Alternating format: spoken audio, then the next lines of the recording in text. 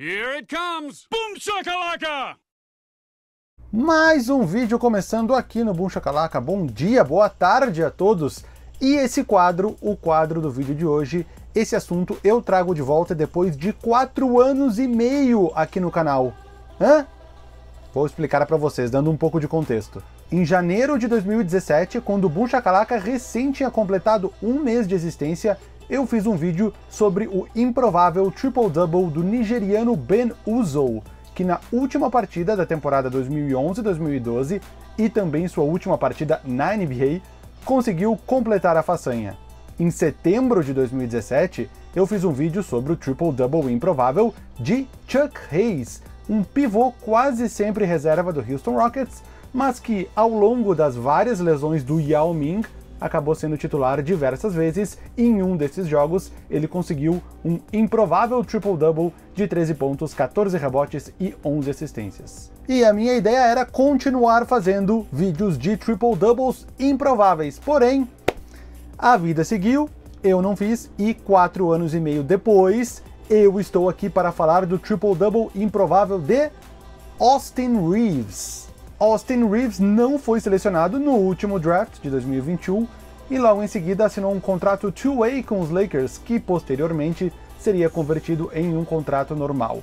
Reeves foi ganhando cada vez mais tempo de quadra ao longo da temporada, sendo titular em praticamente todos os jogos após a parada do All-Star Game. Suas melhores marcas em um jogo até o 81º jogo da temporada: 19 pontos, 8 rebotes e 6 assistências, tudo isso em jogos diferentes, é claro. Mas no 82º e último jogo da temporada regular, o que aprontou Austin Reeves?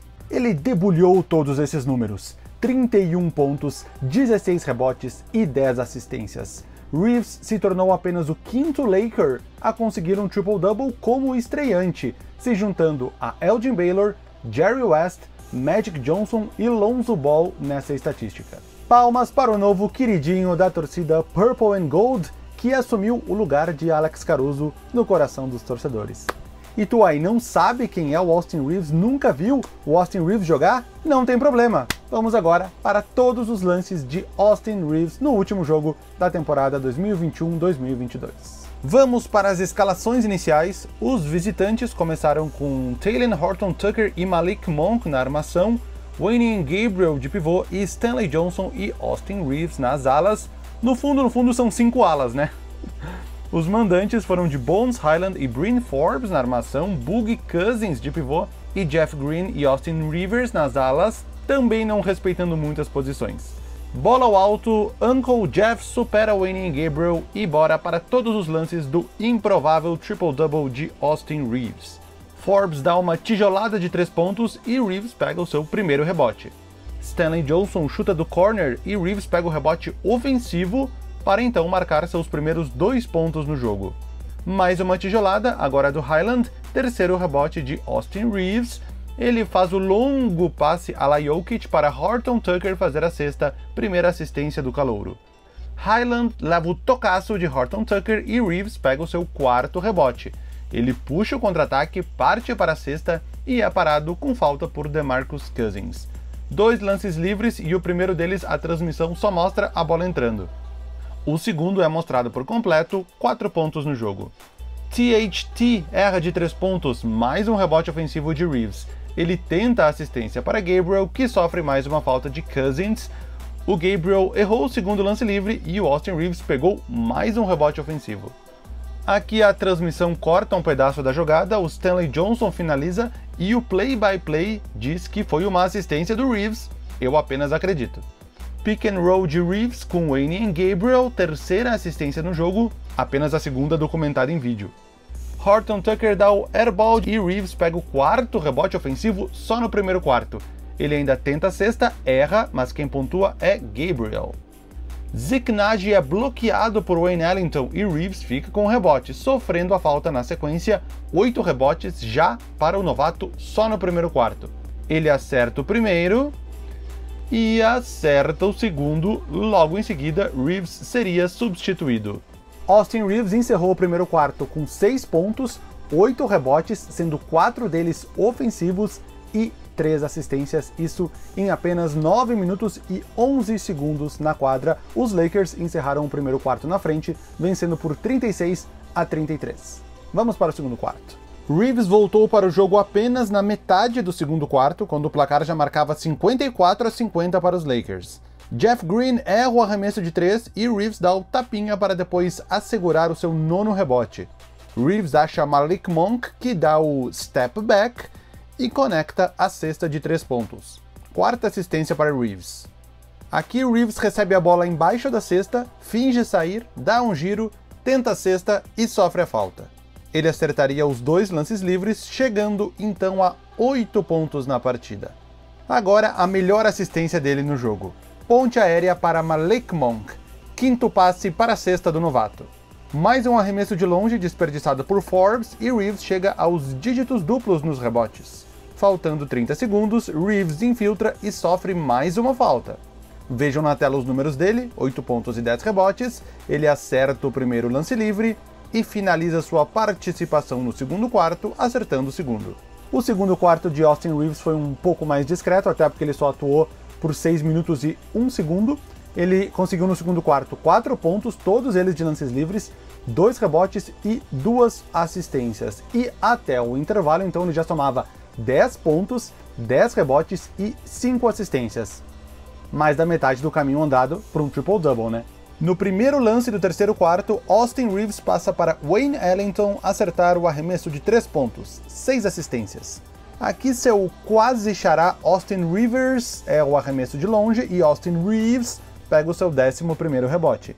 Reeves parte para o X1 contra Bones Highland, leva o toco, pega o próprio rebote, mas erra novamente o arremesso.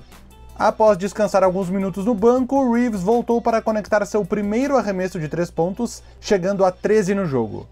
E no último lance do terceiro quarto, Reeves pega o rebote do lance livre de Jeff Green e ainda puxa o contra-ataque para tentar uma última assistência. Mas DJ Augustin erraria o arremesso, apenas 3 pontos, 3 rebotes e uma assistência no terceiro quarto. Vamos para o quarto quarto. Reeves parte para cima de Chanchar, dá o Dream Shake e sofre a falta, dois lances. Após converter os dois lances livres, Reeves chegaria a 15 pontos na partida. Mais uma vez, Reeves para Ellington e a bola de três do veterano é convertida, 7 assistências.